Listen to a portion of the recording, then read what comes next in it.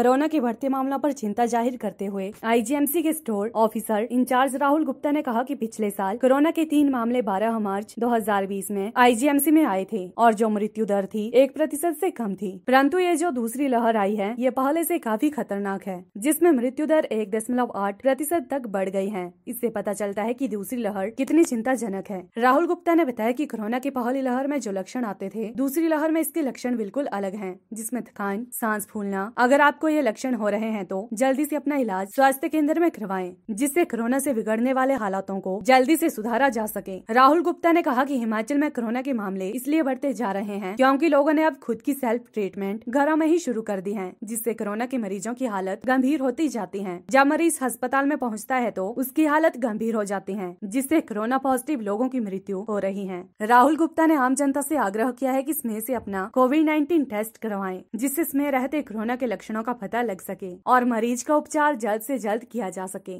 जो कोरोना की पहली लहर थी, उस दौरान 12 मार्च 2020 को पहली बार हिमाचल प्रदेश में एजेंसी में तीन केसेस एक साथ कोविड पॉजिटिव के जो थे, वो दाखिल हुए थे। और जो पहली लहर के दौरान ये देखा गया था, जो मृत्यु दर थी हिमाचल प्रदेश में, वो पूरे ही देश भर से काफ़ी कम थी और ये एक प्रतिशत के आसपास रही थी इससे भी कम थी। परंतु आज की तारीख में जब से ये सेकेंड वेव आई है तो ये जो मृत्यु दर है हिमाचल प्रदेश में 1.8 परसेंट है जबकि बाकी देश के अन्य हिस्सों में ये 1.2 के आसपास है।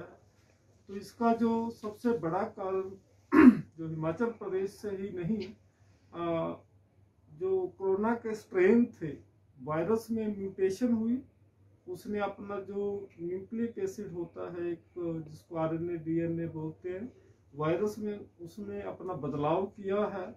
उसकी वजह से नए स्ट्रेन आए हैं। जैसे आपने सुना होगा, अफ्रीका का स्ट्रेन है, ब्राज़ील का है, इंग्लैंड का है। तो ये स्ट्रेन जो है, वो बदले हैं। इंडिया का भी अपना है डबल म्यूटेंट है। अब वो ट्रिपल म्यूटेंट आ गया हुआ है। तो ये जो स्ट्रेन थे, इनके जो सिम्टम्स हैं सिम्टम्स पहले जैसे वो बुखार, खांसी, ये वो रहता था, अब इन केसेस में वो सिम्टम्स उतने ज़्यादा नहीं हैं। तो पेशेंट को अपने आप को आइडेंटिफाई करने में कि मेरे को कोरोना हो सकता है थोड़ी सी देर हो रही है। और दूसरा जो सबसे बड़ा कारण हमारे ध्यान में ये आया है, लोगों ने सेल्फ ट्रीटमेंट शुरू कर दी है। और चीज़ का मुझे बहुत दुख है कि लोगों ने घर में कंसनट्रेटर रख लिए ऑक्सीजन कंसनट्रेटर रख लिए।